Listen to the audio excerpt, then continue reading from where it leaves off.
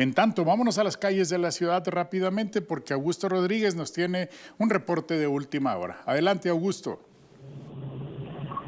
Muy buenos días, Chuchuy. Edith, los saludo esta mañana desde el Boulevard Vito Alessio Robles, donde hace unos minutos se registró un accidente entre un automóvil y un camión de transporte de personal.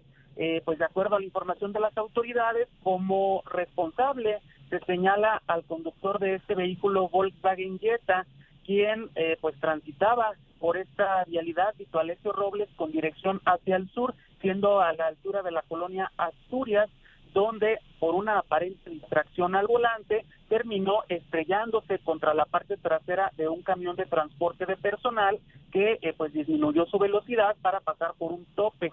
Eh, pues debido a esta colisión el automóvil resultó con daños en la parte frontal, daños algo considerables Afortunadamente, pues no se registraron personas lesionadas. Los trabajadores que viajaban a bordo de este transporte resultaron ilesos. Fueron ocho los trabajadores que viajaban en esta unidad, los cuales pues tuvieron que esperar a que viniera otro camión a recogerlos para pues ser llevados a sus domicilios.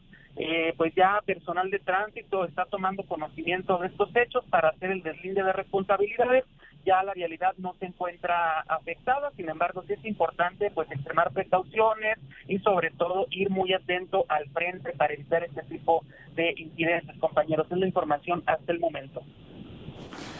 Bueno, pues ahí está el resultado de andar con prisas y con falta de precaución. En todos los alcances, el que pega paga. El conductor del autobús de personal, él el alto para eh, superar un tope y miren nada más que llegan por atrás y se impactan. ¿Por qué? Por las prisas, la falta de precaución, quizá el ir hablando por celular, pero bueno, pues eso es la consecuencia de no salir con tiempo de casa y ya sabemos que el tráfico es sumamente complicado en las vialidades de nuestro Saltillo, así que hay que tomar todas las precauciones necesarias y olvidarse del celular al ir manejando y hacerlo con mucha prudencia y mucha precaución. Así es, cuídese mucho. Muchísimas gracias, Augusto. Seguimos al pendiente de cualquier información que vaya surgiendo a lo largo de la jornada. Claro que sí, muy buenos días.